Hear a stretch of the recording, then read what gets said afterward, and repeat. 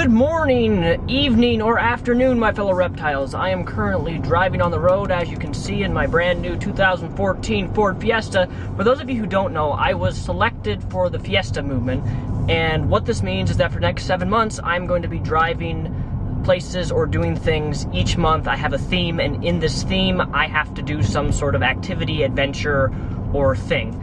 And for this month, it is fitness, and for the thing that I selected was to attempt to learn how to do what is known as joggling. Joggling is learning to jog and run at the exact same time. Um, I don't know how this is going to work, but I figured that because I already know how to juggle, that trying to jog and juggling wouldn't be super, super difficult, but it should be an interesting task.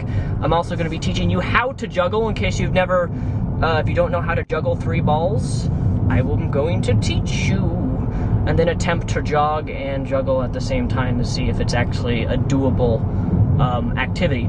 So it was interesting because when I went, to, they flew me to LA to pick up this car, and then prior to picking it up, it was a manual, and I had never driven a manual before, and I had to drive my manual transmission car from LA all the way from Seattle, which is about 1,400 miles. And I made the, I did the whole trip in a manual transmission, my first time. And within tw- within 20 minutes of getting off of the uh, getting onto the highway in LA, I hit traffic, and I was like, "You've got to be kidding me!" And then I was stuck in bumper to bumper traffic for about two hours. Um, and then once I got on the road, driving a stick was pretty easy, but I did stall it a couple times. Also, let me know in the comments below, would you like me to make a video on how to drive a manual transmission? Because I've already put about 2,500 miles on this car already, I think I'm pretty safe to say that I do know how to drive a manual now, because I was kind of forced to drive one. Um, so now that I know how to drive one, would you guys be interested in me making a video on how to drive a manual? If so, I'm gonna, you know what, I'm gonna try something. I'm gonna try to start this car in second gear put it to second, rev the engine. Nope, just stalled it. It did not work. Let's try it again. There we go, look at that. Oh, I did it, I did it. Yeah, I did it. I started the car in second gear. There. It's you. It's really actually. I don't think you should start the car in second gear like that, but I've been doing it because it's just easier to do rather than um, always start the car in first gear every time you stop. Because where I'm staying, um, where I'm staying, it's very lots of stop signs, so it gets really, really annoying having to always. Um, stop the car in first gear and then move up the second and third and you know all that stuff so. And we are home. It is now time to attempt to jog and juggle for your entertainment. Be prepared for lots of fail. So my mission this month was health and fitness and part of the health and fitness was i selected joggling, um, mainly because all of the cool things that were selected for health and fitness were already taken, so I was kind of left stuck with this one to pick. So I'm going to show you how to juggle first, and then after I show you how to juggle, I'm going to attempt to jog, run, and juggle at the same time. Um, I really wouldn't call this a mission, rather I think it's more of a challenge than anything, but we will see how this works. So first of all, if you want to learn how to juggle, people think it's really intimidating. When I tried to start juggling, I thought it was intimidating. I was like, how do they how do they hold three balls and toss them back and forth? I just thought it was very really hard. It's not. Um, it really is. If I'm not very good on hand and eye coordination, except for gaming, um, but you need to have at least two juggling balls. Um, any size really works. Smaller usually works better. But essentially, I want you to visualize my hand here and a vertical beam in the middle of my hand. And then when you are attempting to learn how to juggle, that beam is in the middle of your hand and you want to throw each one of these balls up like you're wanting to throw it over the vertical beam. Um, it would be something like this.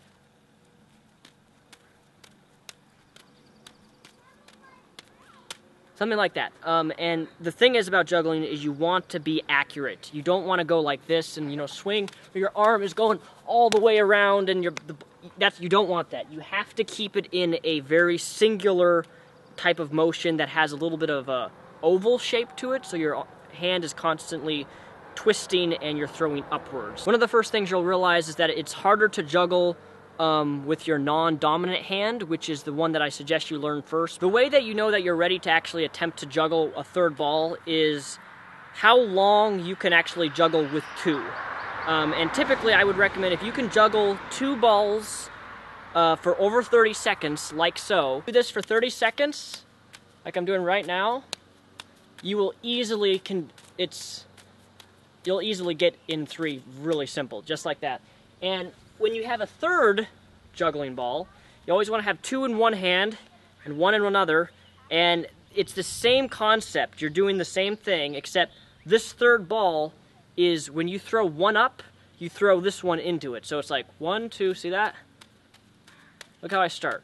I throw up, then I throw the other one into the other hand. You know, you can get faster, you can get lower. Um, I'll show you again, I'll slow it down a little bit. Up, throw in. Up, throw in. Up, throw in. That's really all there is to juggling three balls. It's really easy to do. Um, and if you, again, if you can juggle two balls like that, and then two in the left hand, you're all jolly. Um, but then, of course, there's the, the hard one, which I'm actually still trying to learn this, is attempting to juggle four, which takes a lot more coordinations. I don't have that coordination yet. But essentially, it is, um, the balls actually don't cross one another. Like, when you juggle with three, they cross, but with four, you, they don't cross. Essentially, you're doing the same pattern. You're doing two, up, up, up, like so. Um, and I can't do that. And you just keep, you do ovals, and then when you're it looks like you're actually throwing the balls into across one another when in reality you're just doing a pattern of two balls, two balls, two balls.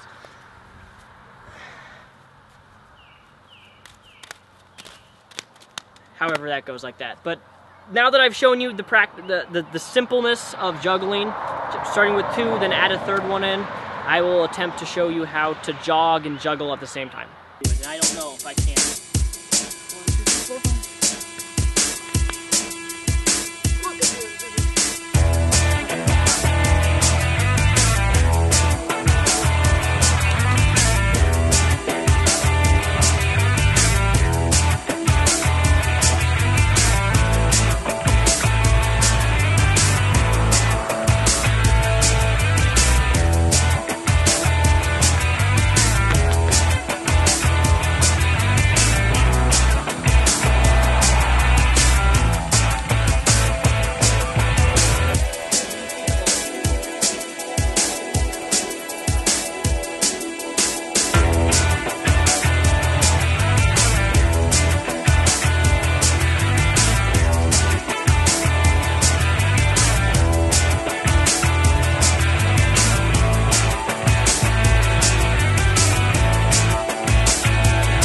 Have it, ladies and gentlemen. I have succeeded in attempting to do joggling. It wasn't as difficult as I thought it was going to be, but it looks even more ridiculous now that I actually looked at the video footage of me running and juggling.